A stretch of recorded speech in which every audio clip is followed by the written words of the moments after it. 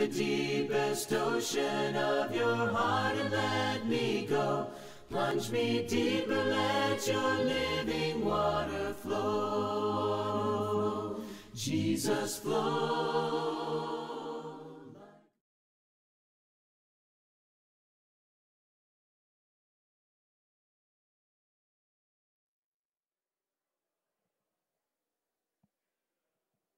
On Zion's glorious summit stood a numerous host redeemed by blood.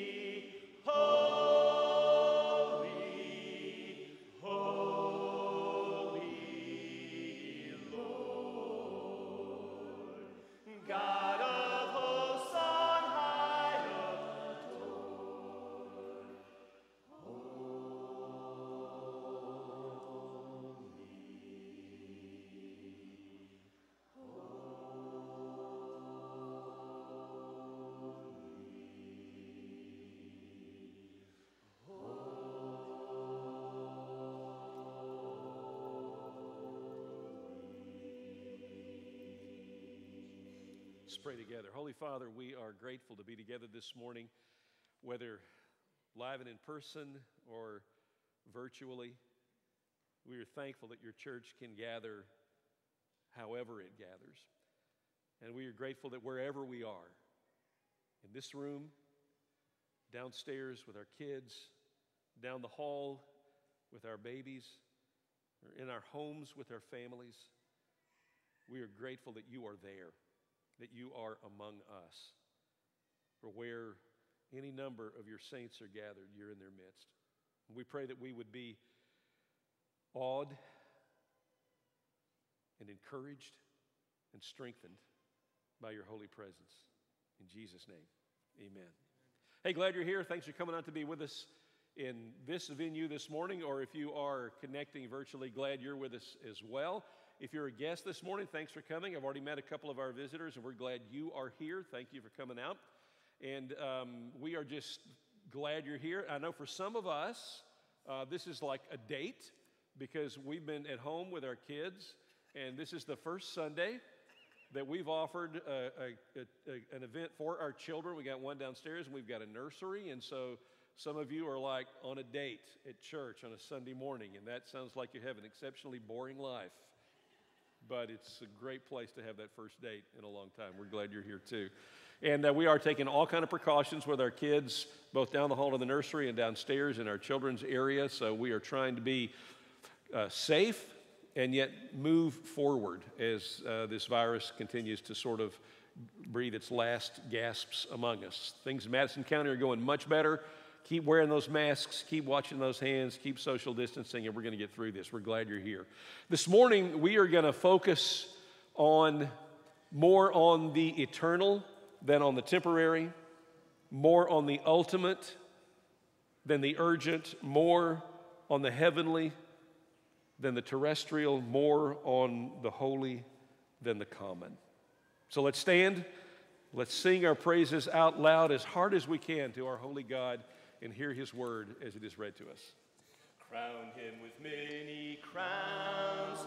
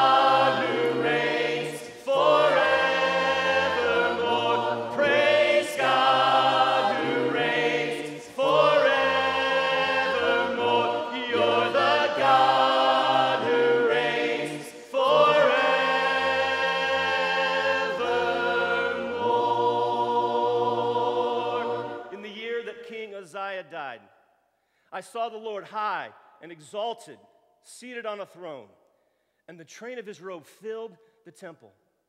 Above him were seraphim, each with six wings. With two wings they covered their faces, with two they covered their feet, and with two they were flying.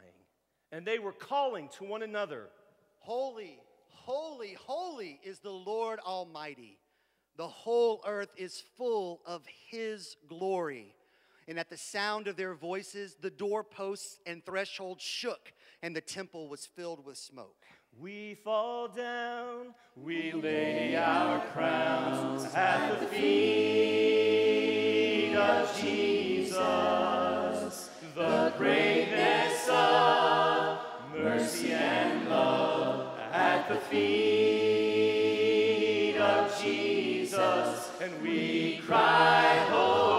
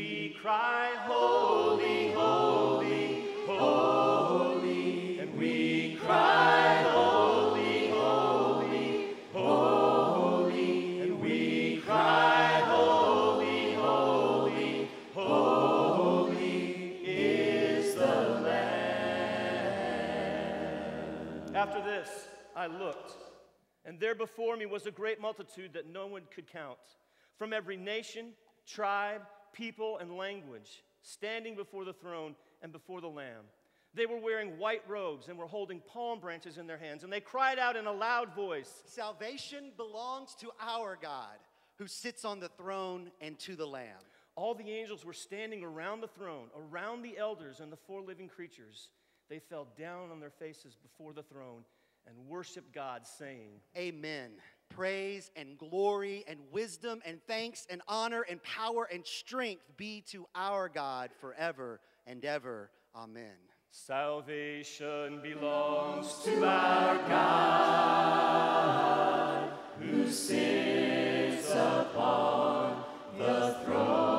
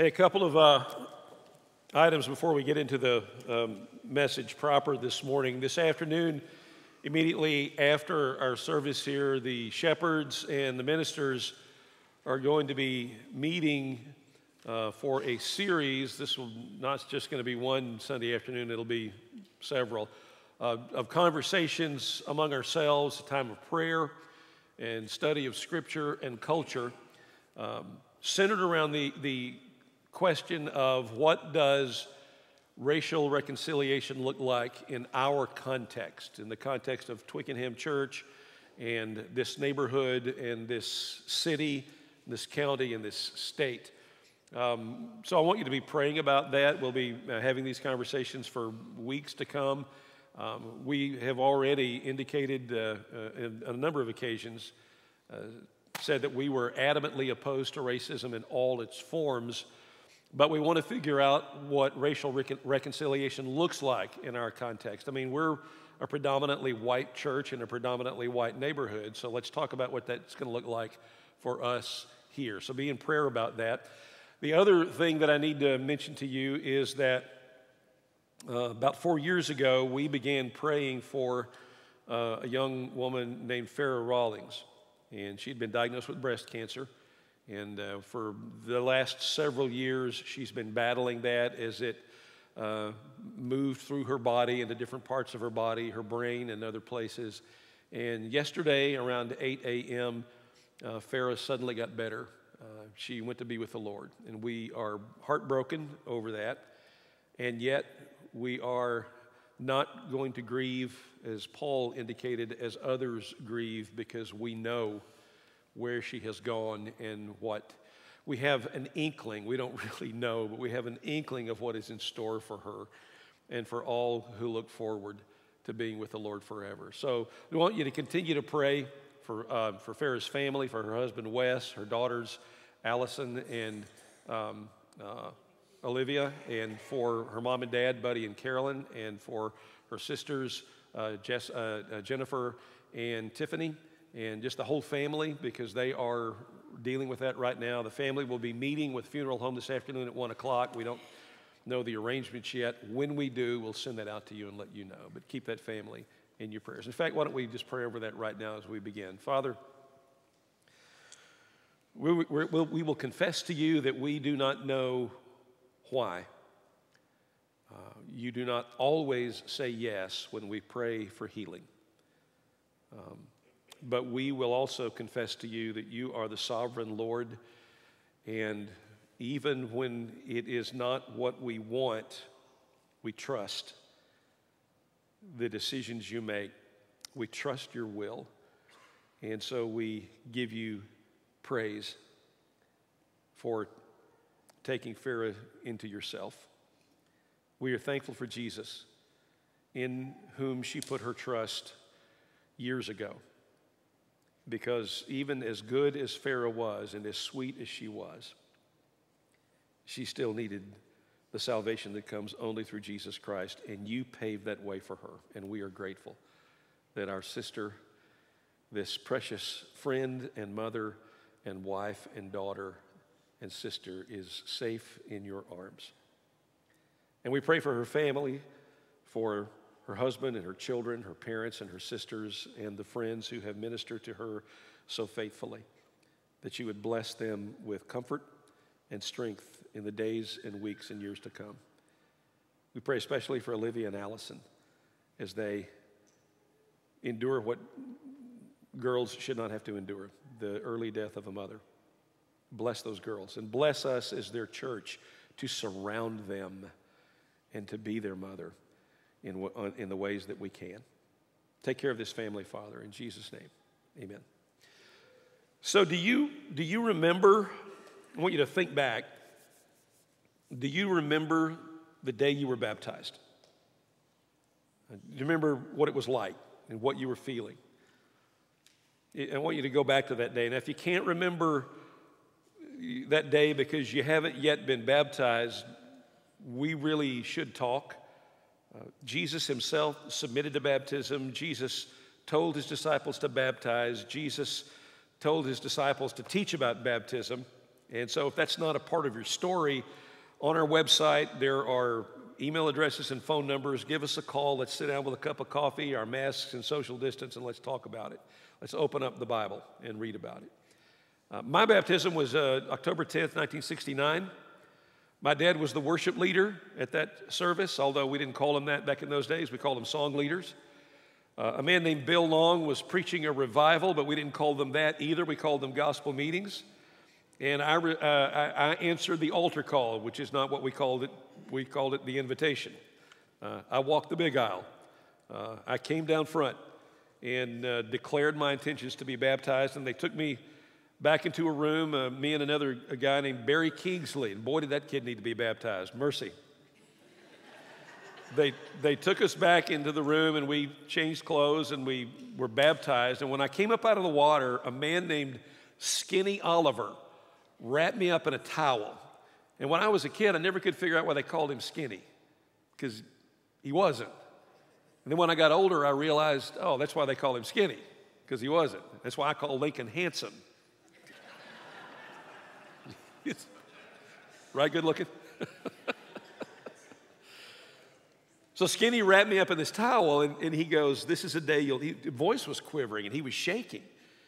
He's a big, big man, but he was shaking, and he said, This is a day you'll never forget. And, and I haven't.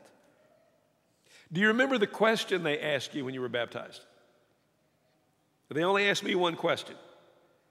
They said, Do you believe that Jesus is the Son of God? And I said, Yes, which is a really important question because if, if that's not what your baptism is about, you're just getting wet, right?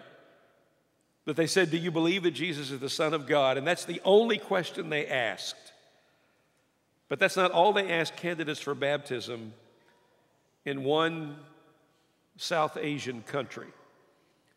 The missionary organization that reports this story doesn't mention the country's name out of safety concerns. Country's predominantly another religion, but Christianity has been making some significant inroads in the past couple of decades, especially among the poor and among tribal peoples. And when someone wants to become a Christian, the missionary sits down with them and asks not one question, but seven questions.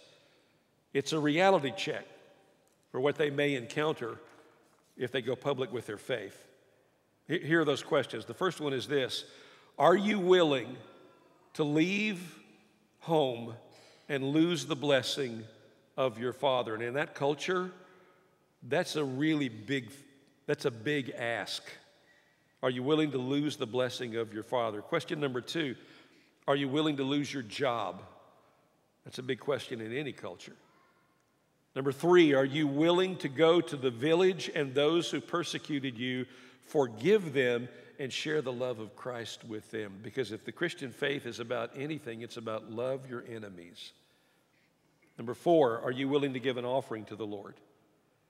Number five, are you willing to be beaten rather than to deny your faith? Number six, are you willing to go to prison? Number seven, are you willing to die for Jesus? Now, had they asked me those questions back in 1969, I, honestly, I, I, don't know how I would have answered them. And, and seeing those questions that people are asking candidates for the Christian faith now helps me realize that while you and I will sometimes face pressure to conform to our culture's latest hysterias and whims, to conform, we'll face pressure to conform to our, our, our, our, our culture's um, shifting values, to uncritically accept those. To say that we're persecuted, that's a stretch. But, but I don't want to minimize the force that the cultural pressure we do feel can have on us.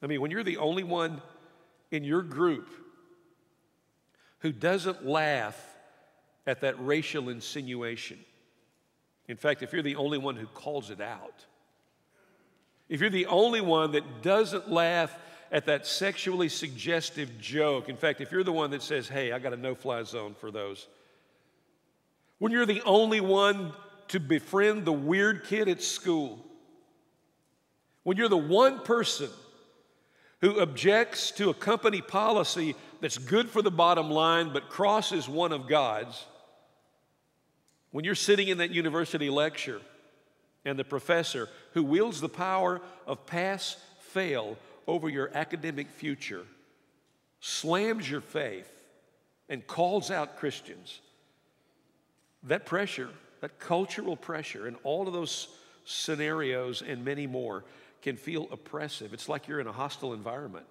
it's like you're behind enemy lines. It can make you feel vulnerable, alone, make you feel isolated. If that has ever happened to you, or if it's happening now, it's a good thing you're either here this morning or there this morning.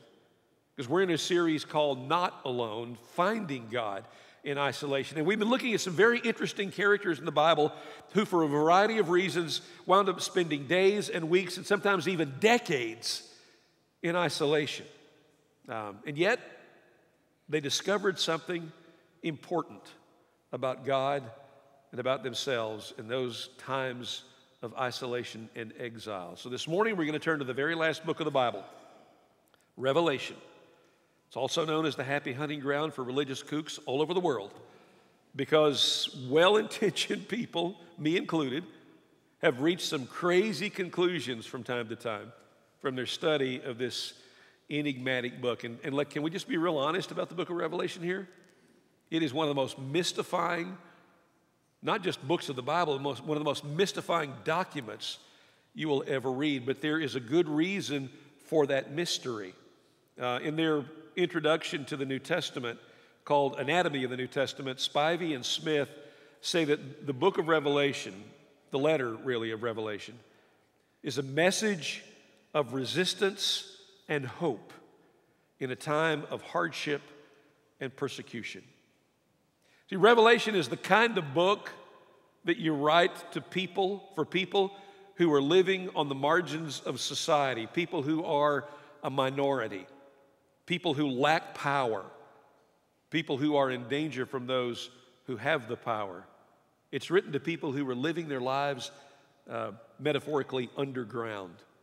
And that's why you see all that strange symbolism and metaphor in the book of Revelation. All this business about seven headed dragons and beasts out of the sea and 666 and apocalyptic horsemen. That's, if John had come right out, John's the human author of the Revelation, was given to him by Jesus and he transcribed it. If John had come right out and said that God is going to destroy the Roman Empire because it has persecuted the church and persecuted Jesus, this letter would not have survived. And so instead, he writes, Babylon the Great has fallen. His readers, Christians, knew that he was talking about Rome, but the Romans didn't. See, Revelation is a very seditious book of the Bible. The entire Bible, really, for that matter, is revolutionary. That is, it is something that incites revolution. The Bible is not a safe book. Desmond Tutu said, There is nothing more radical, nothing more revolutionary, nothing more subversive against injustice and oppression than the Bible. He said, If you want to keep people subjugated, the last thing you place in their hands is a Bible. Well, then it ought to be the first thing we turn to. We're in Revelation chapter 1. We're going to begin in verse 9. If you think that we're going to cover everything about Revelation this morning? No, we're not. Not even going to come close. Now, the interesting thing, though, is this John, who received the revelation from Jesus, is passing it on to his people virtually. He's using the most advanced communication technology of his day. He's using the Zoom of his day, a written letter, to communicate with people he cares deeply for but is separated from. Does that seem familiar? Here's what he says uh, Revelation 1, beginning in verse 9. I, John, your brother and companion, which I, okay, already I, I think is fascinating because he's an apostle. He was best friend. This was, John was Jesus' best friend. He's called the beloved one in the Gospels. And yet, even though he's an apostle, even though he has healed the sick, even though he has performed miracles, he has witnessed miracles, he took Jesus' mother into his home to care for her. He still he doesn't trade on any of that. He doesn't drop the apostle card. He just says, I'm your brother and your companion. In the suffering and kingdom and patient endurance that are ours in Jesus.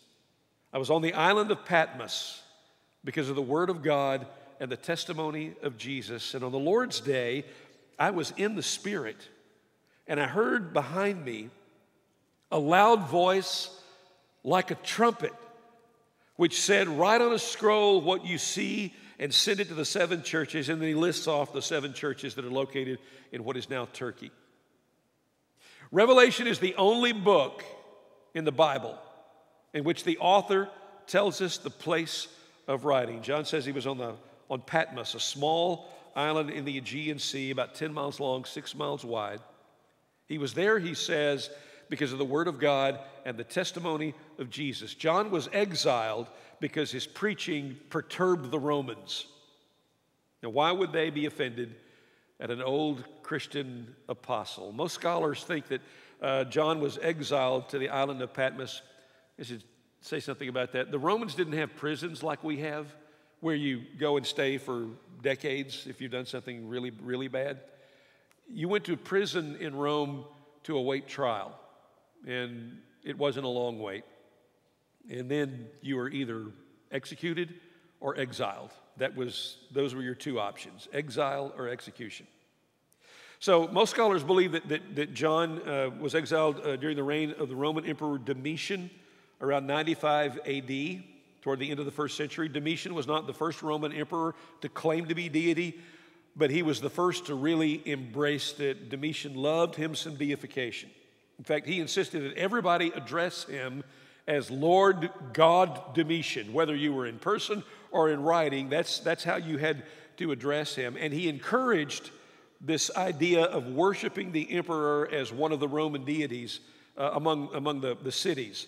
Um, the, in western, in, in, in, rather in eastern Turkey, uh, what is now, I'm sorry, what is now western Turkey, in cities like Ephesus and Pergamum and Laodicea, that cult of emperor worship was really strong because those cities wanted to curry favor with the federal government.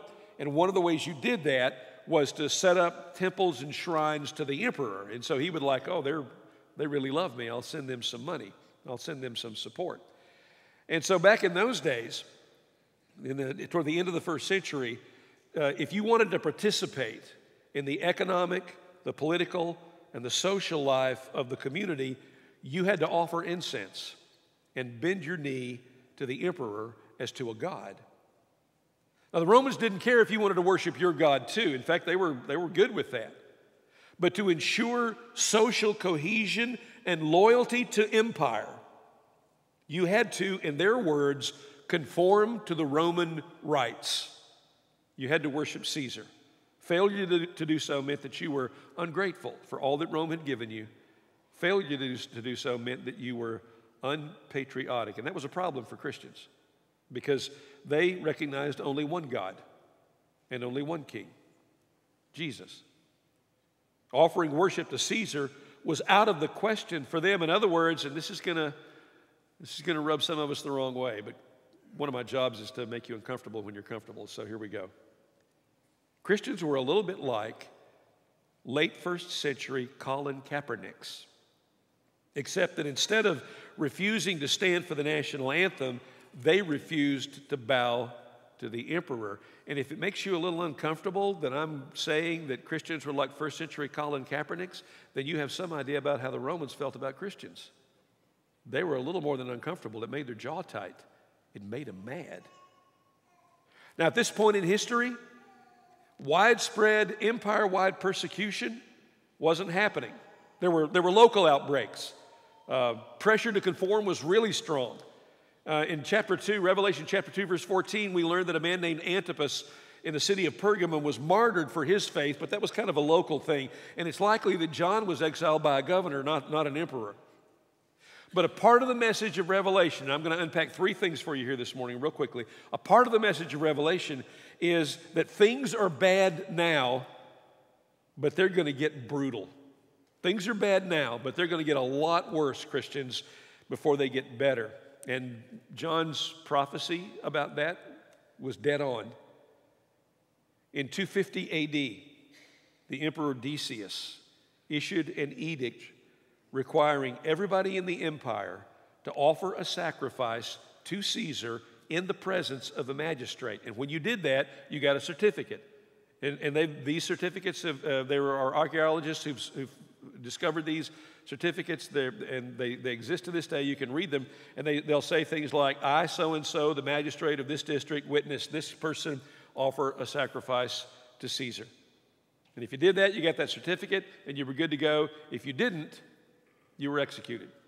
And thousands of Christians died. In the year 257, the Emperor Valerian ordered all Christian clergy to publicly perform sacrifices to the gods and to Caesar and forbade Christian meetings.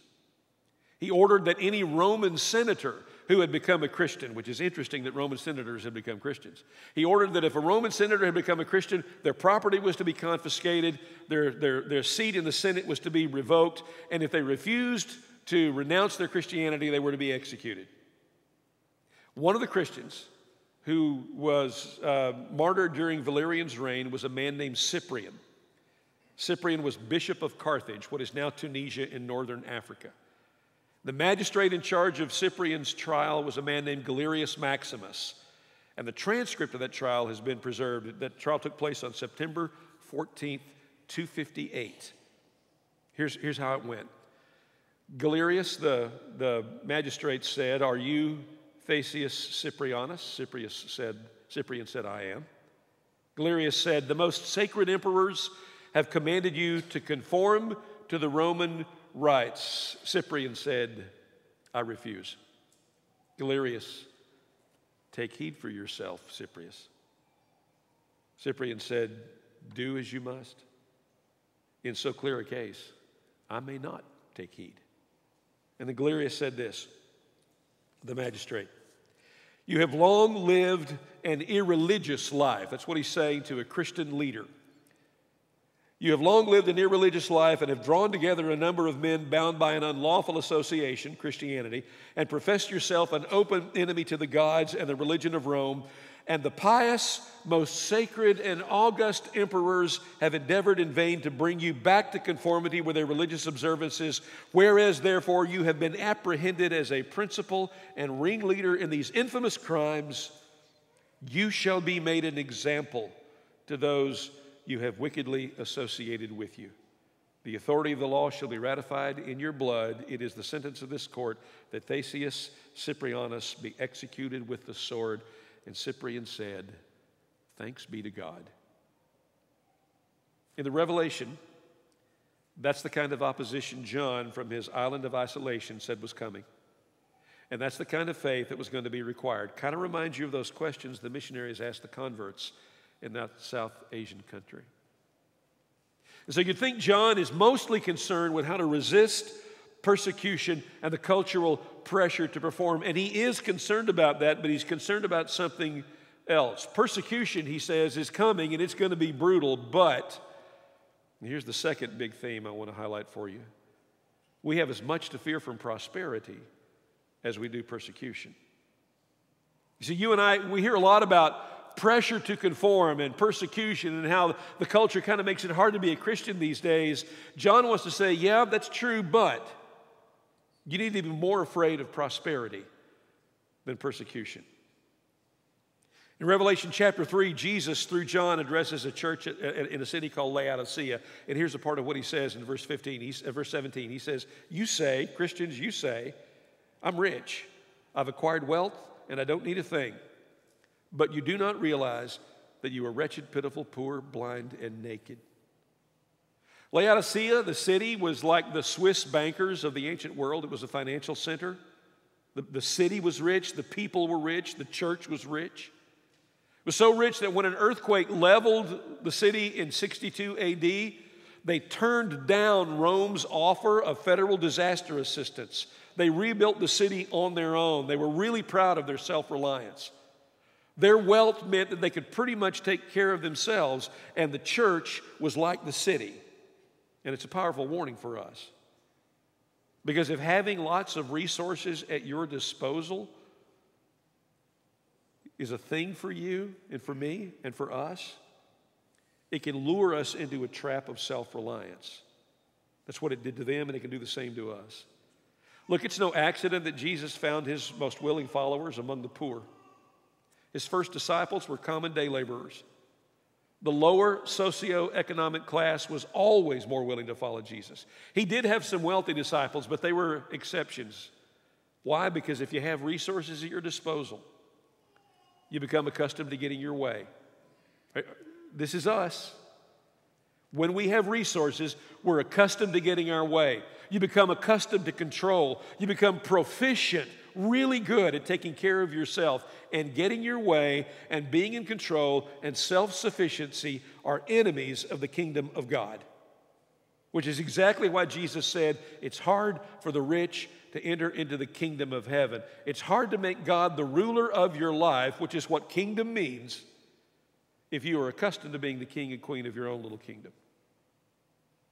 Here, here's a counterintuitive truth the more resources that you and I have, the more power that you and I have, the more money that you and I have, the more we need God because resources, power, and money are the very things that can compromise our souls and make us think that we don't need God. So here's the other thing that Jesus revealed to John when he was isolated on that island. The first one was persecution is coming and it's going to be brutal. The second one was even though persecution is going to come, there's going to have all this pressure from culture, you have more to fear from prosperity than persecution. And the third thing he wanted to say to them was human power cannot restore a broken world. Nobody can deny that our world is broken. Things are just broken right now. All of us Democrats, Republicans, capitalists, socialists, communists, and anarchists. We all agree the world is broken. The nature of that brokenness and how to repair it, those are the sources of our disagreement. This past week, the Democrats held their virtual convention arguing that Joe Biden and Kamala Harris have the answer. Well, next week, the Republicans will hold theirs, and they'll argue that Donald Trump and Mike Pence know how to fix what's broken. They're both wrong. Human beings and human movements always assume that if their group gains power, things will at least improve, if not improve exponentially. Just put power in the right human hands and all will be made well. And if you don't think we believe that, listen to our slogans, our political slogans through the years. Republicans, have told us it's morning again in America. Heal, restore, revive, make America great again. Democrats have told us, yes, we can. We are the change we've been waiting for. Restore the soul of the nation. And then we buy into that and we jump on social media and we say horrible things to and about each other because we have been deceived into believing the lie that the secret to making the world right again depends upon human power and human potential. And that lie is as old as the Garden of Eden. That's the original lie. You'll be like God, knowing good and evil.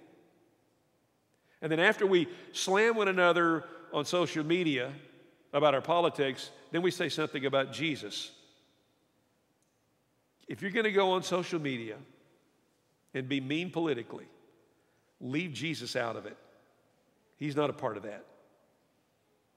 Here's what Jesus revealed to John about who really has power to restore and heal and revive and make the world great. Revelation chapter 5, we'll hear more of this in just a few minutes. I'm just going to read you one verse, two verses. You are worthy to take the scroll and open its seals because you were slain and with your blood, now listen to this. What, what's, What's the, the major conversation right now? All this division, right? Listen to this. With your blood, you purchased for God persons from every tribe and language and people and nation. You made them to be a kingdom and priests to serve our God, and they will reign on the earth. In a, in a few minutes, a few minutes ago, you heard Revelation 7, 9, and 10. We already listened, heard this one. Hear it again. After this, I looked, and there before me was a great multitude that no one could count from every nation and tribe and people and language. All of them together standing before the throne and before the Lamb, and they were wearing white robes and holding branches and palm branches in their hands, and they cried out in a loud voice, Salvation, making everything right, belongs to God who sits on the throne and to the Lamb. We sang those words a few minutes ago. We heard those words read to us a few minutes ago. And when we say that salvation belongs to God, we are confessing that it doesn't belong to anybody else, not to either party or any party or any nation. It belongs to God. Look, I'm not telling you that your vote this, this November doesn't matter. I am telling you that Donald Trump is not your Savior, and neither is Joe Biden. And if you'd pardon my cynicism, most politicians will lie to get your vote, and none of them are willing to die for your soul. Jesus did not climb a political ladder when he walked up the hill of Calvary, he climbed a cross. And all the tombs in Washington, D.C. are occupied. The one where they buried Jesus isn't. We do something here and in our homes every week that is cosmically more important than what happens in Washington or Montgomery or any other capital. We remember. We go back to that place and that time when the Lamb was slain, when Jesus died on the cross to make a way for us to be healed and whole and forgiven. We go back and remember that because human power cannot restore the world. Only God can. Only that did. That's why these next couple of minutes, when we go back to remember with bread and wine, the body and blood, that's why these next couple of moments are really, really important. I cast my mind to Calvary, where Jesus bled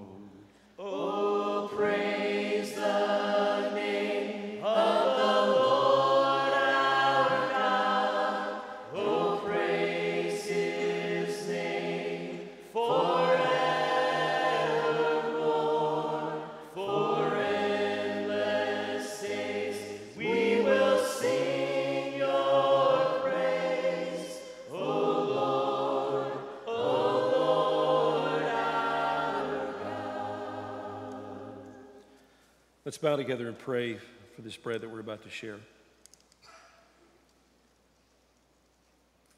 Holy Father, we've read the end of the book, and Team Jesus wins. But what a price had to be paid for that victory. A hill, a cross, nails, crown of thorns, a spear, a body broken, blood shed. And the greatest sacrifice of all, that separation, that moment when he cried out, My God, my God, why have you forsaken me? That moment when he, for the first time in eternity, was separated from you And both you and he and the Spirit suffered that rift so that we could be united to you, to him, to the Spirit, and to one another. Oh God, forgive us for ever assuming that anything on this earth could heal, restore, and make whole other than that. Thank you for this bread that we're about to share, this reminder. In Jesus' name, amen.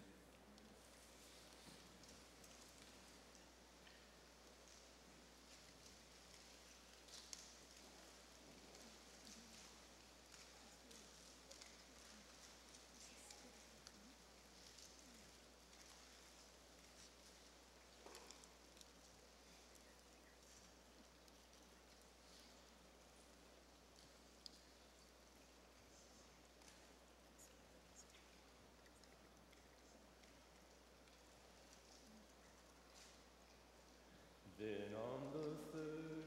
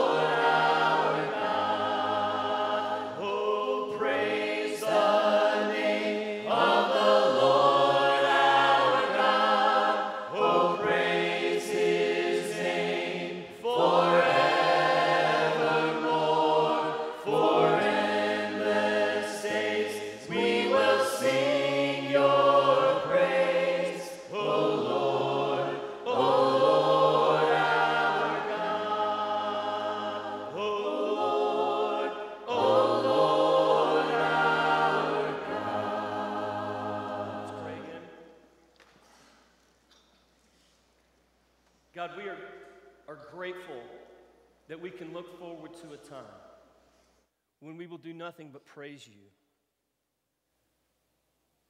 When we will sing and pray and worship and be free from all of this. And yet, more than that, God, as we take this cup, we are reminded that we are free from all of this now. We are free here. We live differently because of what you've done. And we put our hope in you and not in the things of this world. Bless us as we share this cup. In Jesus' name, amen.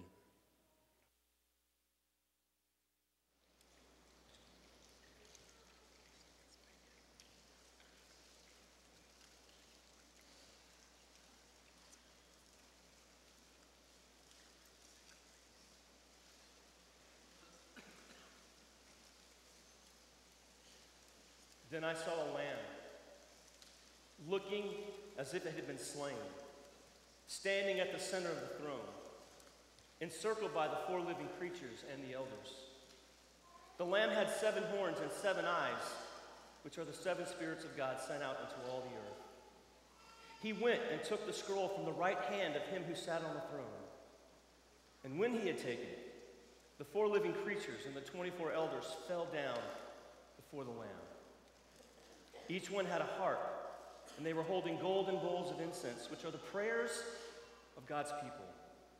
And they sang a new song, saying, You are worthy to take the scroll and to open its seals, because you were slain, and with your blood you purchased for God persons from every tribe and language and people and nation. You have made them to be a kingdom and priests to serve our God, and they will reign on the earth. Would you stand?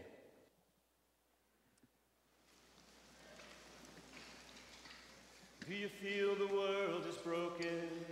We do, Do you feel the shadows deepen? we do, But do you know that all the dark won't stop the light from getting through? we do. Do you wish that you could see it all made new? We do. Is all creation groaning? It is. Is a new creation coming? It is. Is the glory of the Lord to be the light within our midst? It is. Is it good that we remind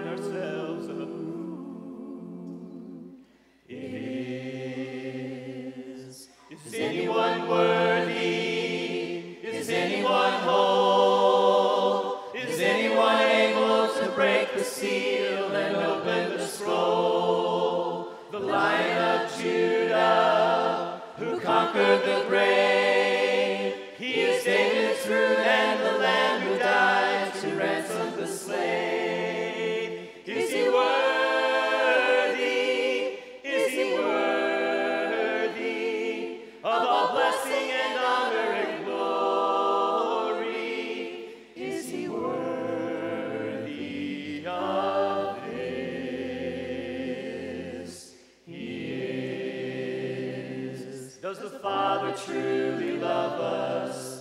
He does. Does the Spirit move among us? He does. And does Jesus, our Messiah, hold forever those he loves? He does. Does our God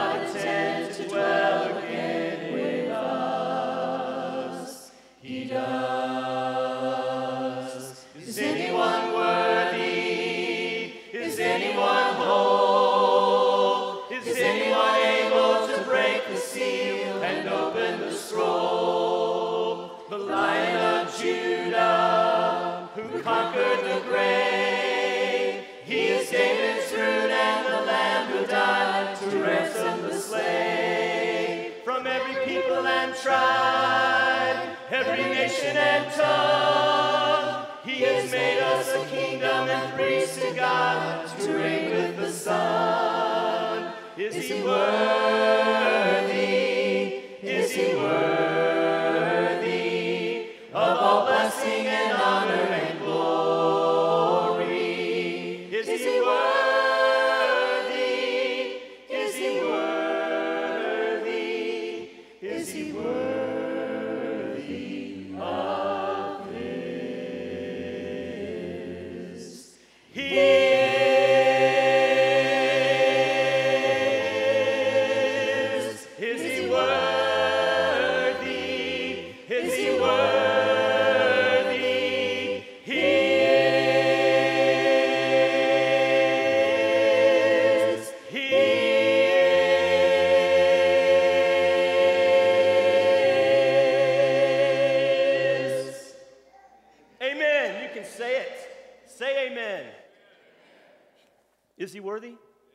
Amen.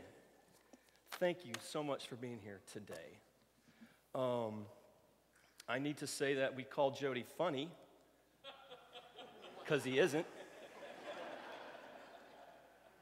And I need to say three other things. Number one, if you're a parent of a teenager, anybody in the youth group, you have a parents' meeting as soon as we conclude downstairs in the youth area. So please join us for that. Um, number two, there's a shower today for Clark Dowdy. That's a drive-by shower at the Mercy Building down on the corner. Um, please note that. That's from 1 to 2.30. And thirdly, Wednesday, we were supposed to have another picnic, prayer, and praise, and we may. And we may not, um, depending on a couple of things. One would be the funeral arrangements that may be forthcoming this week. And then, secondly, there's a little thing out in the Gulf that's headed this way, so we could get rained out. However, we already ordered Chick fil A for everybody, and you can still get an order in, and we will still have it because we're already on the line for that. So even if it rains, we're going to have drive by pick up your Chick fil A night. You can pull through and grab dinner because we've already got it coming. So keep all of those in mind. Wow. Hope you have a great week. I really do. I really, really do. May the amazing grace of Jesus bless you and give you peace. Have a great day.